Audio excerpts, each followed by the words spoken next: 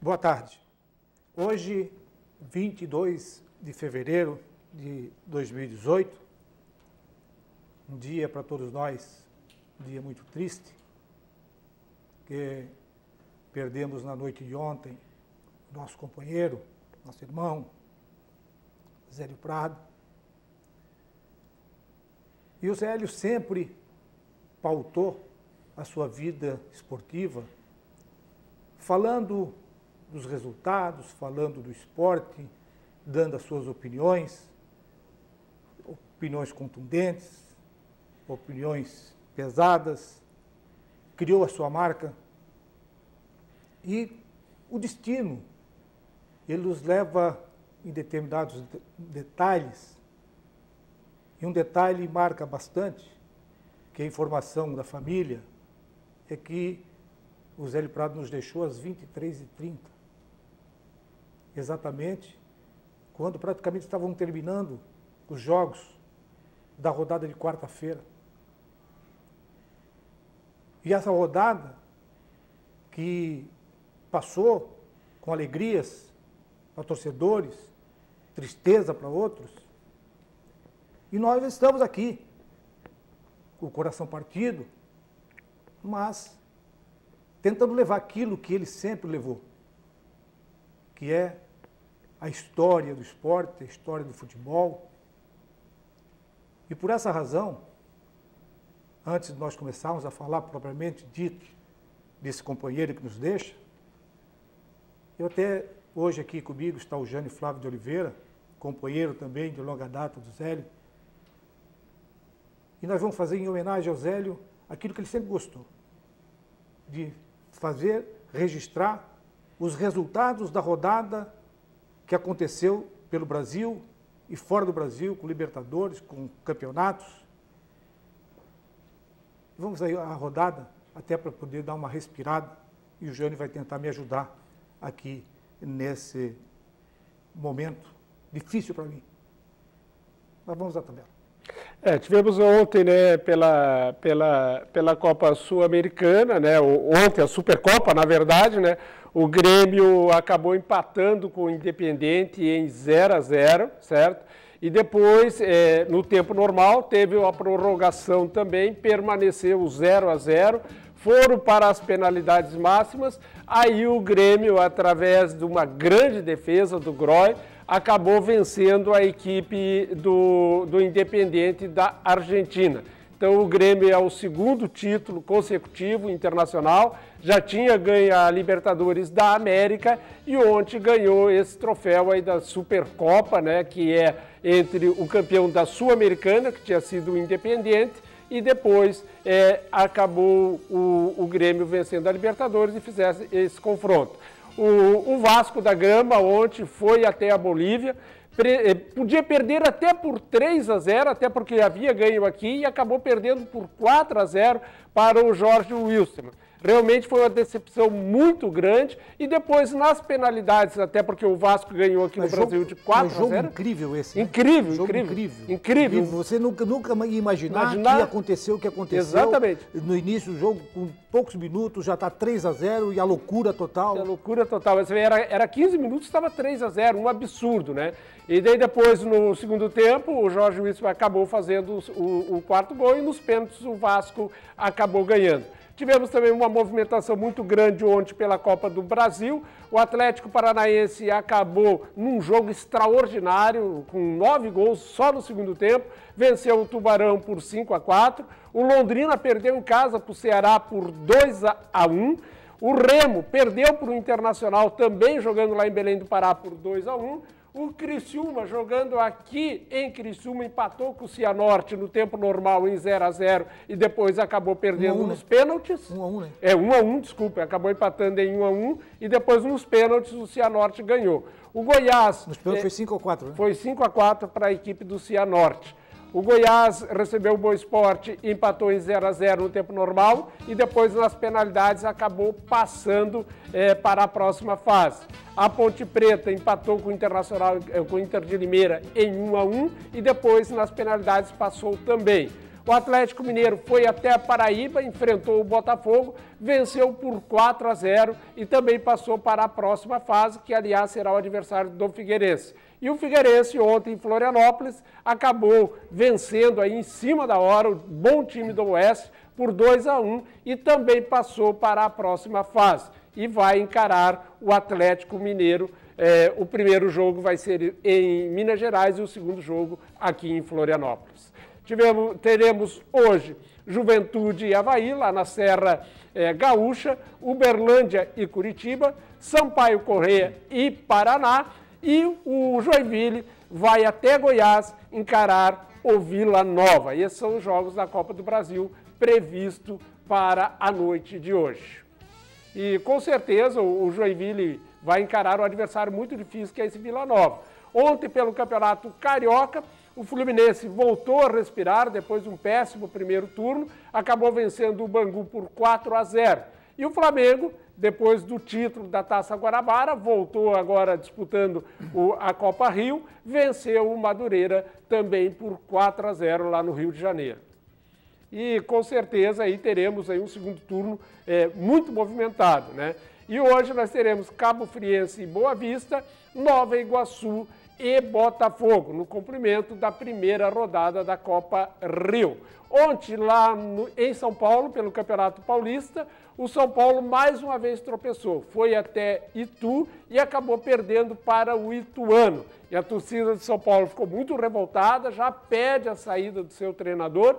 Inclusive, o torcedor do São Paulo começa a chamar por Luxemburgo. Olha só que absurdo, né? Que chegou. Eu acho que ainda é muito cedo, a torcida de São Paulo tem que ter um pouco de calma para que realmente traga aquelas contratações que o, que o, o treinador ah, pediu e o São Paulo até agora não, não atendeu. O São Paulo está passando por uma reformulação interna no seu gerenciamento de futebol. Levou agora o, o, Ricardo Rocha, que é o, o, gerente de futebol, já tem o Raí lá, mas o São Paulo precisa urgentemente se organizar, porque não é possível ficar tanto tempo numa má fase desde o Campeonato Brasileiro, que o São Paulo brigou para não ser rebaixado, organizou uma nova estrutura e continua muito mal, Elade. Ô, Jânio, na, na, Copa do Brasil, nós tínhamos aí três participantes ontem e só passou o Figueirense. Só passou o, o Figueirense. O Tubarão... O Tubarão fez um grande jogo Nossa, diante fez, do, do, fez do Atlético jogo, Paranaense. É, fez um jogo, um jogo épico. espetacular. Um jogo épico ontem. O primeiro tempo acabou 0 acabou a 0 Veio para o segundo tempo, o Atlético Paranaense fez 1 a 0, o Tubarão virou para 2 a 1, um jogo fantástico. Depois o, o, o Atlético Paranaense acabou virando para 3 a 2. Aí o Tubarão virou novamente para 4 a 3 e aí veio o grande pecado do Tubarão, a inexperiência né, de alguns jogadores numa decisão, num estádio de Copa do Mundo, jogando contra um time de primeira divisão, e tinha tudo para o Tubarão segurar o placar, até porque a torcida do Atlético estava enfurecida, estava realmente cobrando dos seus jogadores, e o, o Atlético acabou virando o jogo em dois minutos um gol aos 45 minutos do segundo tempo e outro gol aos 47 minutos do segundo tempo através do Gedó. Aliás, um golaço. Mas o Atlético, o Atlético Tubarão marcou a sua história, com certeza, no futebol brasileiro, fazendo uma apresentação de gala. Se tivesse um pouco mais de paciência, um pouco mais de experiência, com certeza hoje o, o Atlético Tubarão estaria comemorando a sua passagem para a próxima fase. Em Florianópolis, o Eládio, o Figueirense fez o dever de casa, teve muitas dificuldades tá, diante desse time do Oeste. O Oeste é um time competitivo, tem como seu treinador eh, o Roberto Cavalo, né? que aliás no ano passado na Série B fez um grande campeonato na Série B, por três pontos não conseguiu o acesso para a Série A e, por incrível que pareça, disputa a Série B, a Série, a série B, eh, a segunda divisão do Campeonato Paulista. Mas foi um adversário à altura. O Figueirense saiu ganhando de 1 a 0, o Oeste empatou e aos 46 minutos do segundo tempo, o Figueirense conseguiu marcar e conseguiu passar de fase. E lá em Criciúma, né, o Criciúma que vem numa péssima fase, hoje está na zona de rebaixamento do Campeonato Catarinense, até que fez uma boa partida. Enfrentou um adversário forte, que é esse time do Cianorte. O Cianorte está a seis partidas invictas lá no Campeonato Paranaense e ontem vem enfrentar o Criciúma. Em outros, em outros momentos, em alguns anos atrás, um confronto desse nós iríamos tranquilamente que o Criciúma era o franco favorito. Mas pela situação que está o Criciúma, realmente ontem era um jogo aberto. E o Cianorte acabou fazendo 1 a 0, o Criciúma correu atrás, conseguiu o um empate, levou o jogo para as penalidades, chegou a estar na frente através de uma belíssima defesa do goleiro Luiz, mas depois o garoto foi bater o pênalti lá e acabou errando o pênalti e depois no mata-mata o Cianorte acabou vencendo a equipe do Criciúma. É lamentável, porque se passasse de fase os clubes nessa, nessa indo para essa terceira fase, iriam colocar no bolso já mais 1 milhão e 400 mil reais. Né? Então, em termos, é, um preju é um prejuízo. É um prejuízo muito grande. Né? O Figueirense eh, eh conseguiu essa, eh, essa passagem, o Tubarão, por muito pouco, não conseguiu, mas é compreensivo. Né? Então, esperamos que hoje o, o, o Havaí vai até a Serra Gaúcha, vai enfrentar o Juventude. O Juventude é um time que vem oscilando muito no campeonato esse ano, cheio de altos e baixos, mas é um adversário tradicional. Lembrando que o Juventude já foi campeão da Copa do Brasil, é um time copeiro, um time difícil de ser batido. Mas, como já dizia o nosso amigo Miguel Livramento e Zélio Prado, esse Havaí faz coisas, né? Então pode-se esperar de tudo lá. Agora o Joinville vai ter um jogo mais complicado ainda. Né? Vai jogar contra o Vila Nova de Goiás. O Vila Nova está invicto esse ano. O Vila Nova não perdeu para ninguém esse ano. O Joinville também vem oscilando muito, está muito mal no campeonato, é, diante do que ele poderia fazer, a expectativa que se criou em, em, em torno do Joinville. Vai enfrentar hoje um Vila Nova que vem muito bem no campeonato e o Emerson Maria, né, que é o treinador do Vila Nova, vai reencontrar o, o, o, Joinville também ele foi campeão catarinense, inclusive, pelo Joinville, né, o campeão da, da, da, da, série, da Série B pelo Joinville, o Emerson Maria. E com certeza o Joinville vai ter muitas dificuldades hoje lá. Mas futebol é 11 contra 11 e tudo pode acontecer. Esperamos aí que os clubes catarinenses possam fazer hoje um, grandes apresentações e trago as classificações aqui para Santa Catarina. É, essa é a derrota do Tubarão, a derrota do Criciúma e a classificação do Figueirense ficou bom só para o Figueirense em termos do que você falou da premiação. Exato. E agora temos a expectativa de hoje com Havaí e também com o Joinville para continuar na briga na é. Copa do Brasil. Nós vamos ao intervalo e voltamos em seguidinha, aí sim já para falarmos do nosso saudoso Gisele Prato.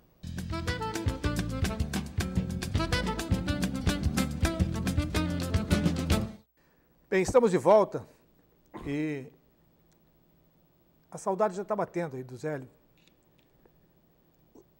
Para quem não conheceu o Zélio, o Zélio, na sua juventude, foi para a aeronáutica. Depois, o Zélio teve a sua passagem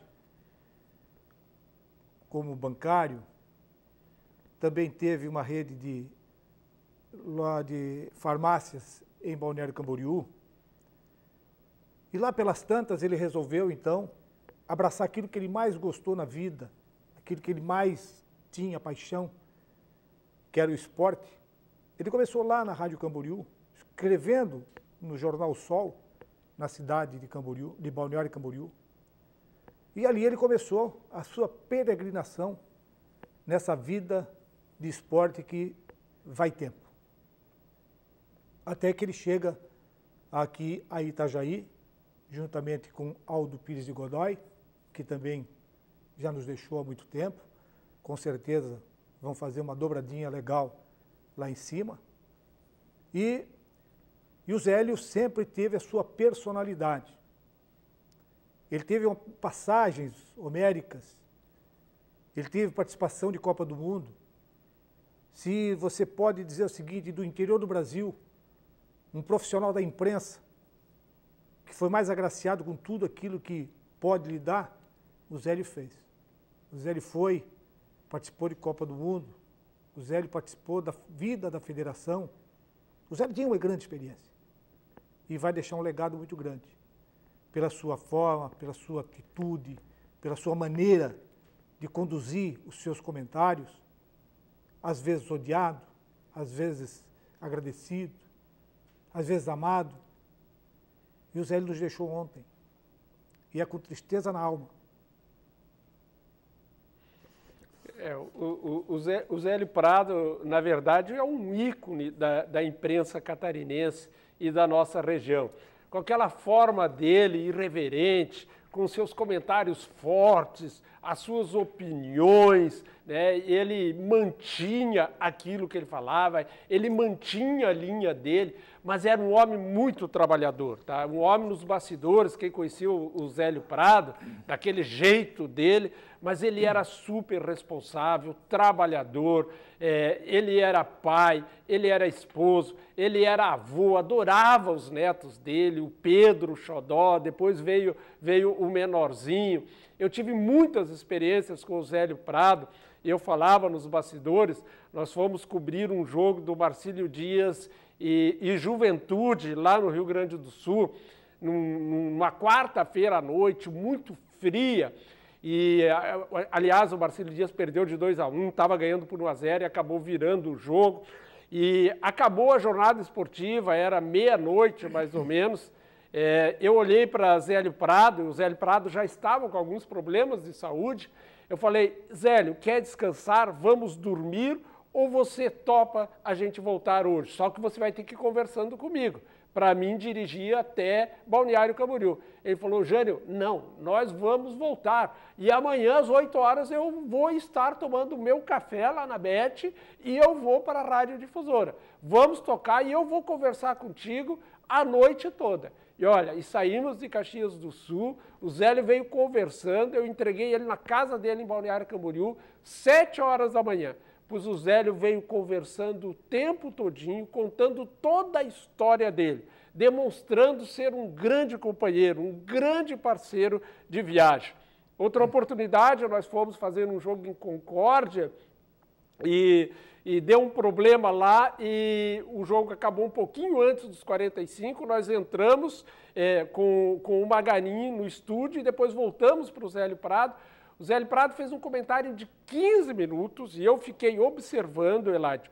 Ele comentou 15 minutos sem parar sobre tudo o que aconteceu no primeiro tempo, a parte técnica, a parte tática, e ele não repetiu uma única palavra, uma única é coisa raríssima. O que ele conhecia de futebol e o raciocínio que ele tinha para transmitir o que ele tinha visto. Então, realmente foi assim um grande professor. Nem sempre nós concordávamos com a opinião dele, mas respeitávamos a opinião dele, e ele era consciente disso. Ele era super responsável com o horário, né?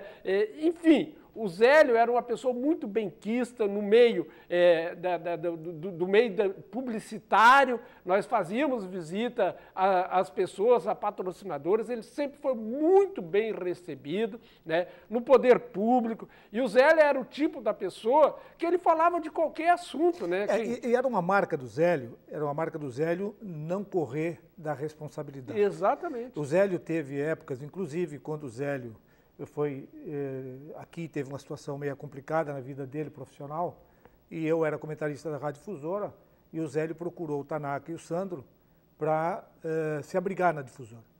Aí o Tanaka e, os, e o Sandro me chamaram e lá deu. O Zélio está sem emprego, ele quer vir ajudar a gente, quer vir trabalhar aqui, mas você é o nosso comentarista. Eu disse, não, pode vir, traga ele para cá. É um parceiro que vai, vai, só vai somar. E de lá para cá ele sempre somou comigo. Nós sempre somamos junto. E por isso é esse sentimento muito grande que eu tenho é, da perda do Zélio, mas a marca que ele traz, a marca que ele não, ele não media esforço, mesmo às vezes sem condição física, ele dizia assim, deixa que eu vou viajar, eu quero viajar, eu quero ir nesse jogo, eu quero fazer essa transmissão.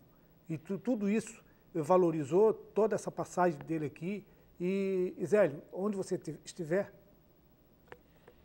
mora o coração, tá? É, a responsabilidade profissional desse homem era uma coisa impressionante.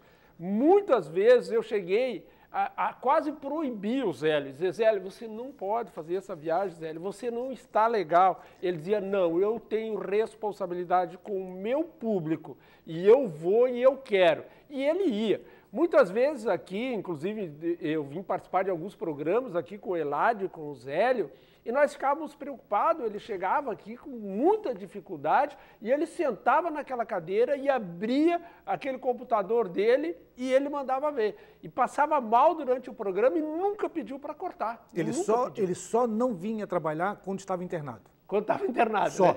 E mesmo assim ainda ficava perguntando como é que Não, estavam as coisas. Só, né? só quando ele estava internado que ele, ele não vinha trabalhar. É, nunca fugiu do pau, nunca fugiu, nunca teve é, é, esse tipo de, ah, não vou, estou cansado, nunca estava cansado. Nunca, era... Mesmo que a gente sentia que ele estava bem debilitado, estava bem com, com problemas, mas ele estava sempre quente, sempre rente e sempre com aquela maneira dele de, de emitir sua opinião e de dar sua opinião e realmente vai fazer muita falta para gente. É, eu, eu, eu acompanhei o Zélio muito tempo, né, no, no, no Marcílio Dias. O Zélio era uma, uma pessoa que ele tinha um olhar clínico para as coisas, tá? E raramente o Zélio Prado errava nas opiniões dele, né? É, errava nas opiniões dele. Inclusive ele escrevia, né? Ele, ele tinha o blog dele, ele tinha o blog, né? E ele gostava muito de escrever. Então, obviamente, quando você se expõe na internet, você está sujeito a críticas. E ele absorvia isso. Ô, Jânio, agora, nesse finalzinho de programa, uma homenagem da casa e todos os nossos companheiros, vamos ver um pouquinho. Então vamos, vamos ver um VT então. Hoje, o jornalismo faz silêncio, em homenagem a uma das vozes mais importantes da análise esportiva na região. Olha, uma rodada ontem, eu não vou dizer que é atípica, né? Porque é, o, o jogo foi atípico. Durante anos, esse era um dos espaços onde o comentarista Zélio Prado analisava a fundo o esporte que é paixão dos brasileiros. Vou esperar esse campeonato que vem. Porque não demonstraram nada naquele campeonato que fizeram. O futebol também foi a grande paixão do comentarista, quase um sacerdócio para ele que acompanhava com atenção cada lance dentro do campo e nos bastidores. Zélio era uma figura ímpar no mundo esportivo catarinense, crítico e algumas vezes criticado, mas que conseguiu imprimir uma marca, ser uma referência. Tem que punir, tá? Tem, que responsabilizar o clube, que daí o clube cobra dos torcedores. Porque cobrar de torcedor não adianta. Eles não estão nem aí. Mesmo com a saúde debilitada, trabalhou cada segundo, na bancada, nos estúdios da rádio, no jornalismo impresso e nas mídias sociais. Era um dos grandes defensores do Marcílio Dias. O velho marinheiro provocava alegrias e também preocupação do comentarista. Não sou, não Eu sou nunca, vi um, eu nunca vi tão puxa-saco no mundo. E Eu, nu- nunca eu vi. nunca vi um cara tão pessimista e que diz que é marcilista. Nunca vi. Eu sou. Nunca vi. Eu sou, porque diz que eu quero resultado. Mas que Esse resultado negócio de chegar quer? ali para mim, cada um que assume, levanta a dívida, daqui a pouco muda a diretoria e fica a mesma coisa. Para quem fez história, pode deixar um silêncio momentâneo, mas seus comentários, críticas, análises ficarão eternizados. Estou falando do Marcílio, não interessa os outros. Para mim, os outros que se danem. Tomara que não tivesse campeonato, subisse um para o Marcílio subir. Não estou ligando para os outros. Hoje, há um espaço vazio nas cabines de transmissão nos estádios, no Unisportes, no Univale Esporte. Tchau, gente. Um abraço e até amanhã.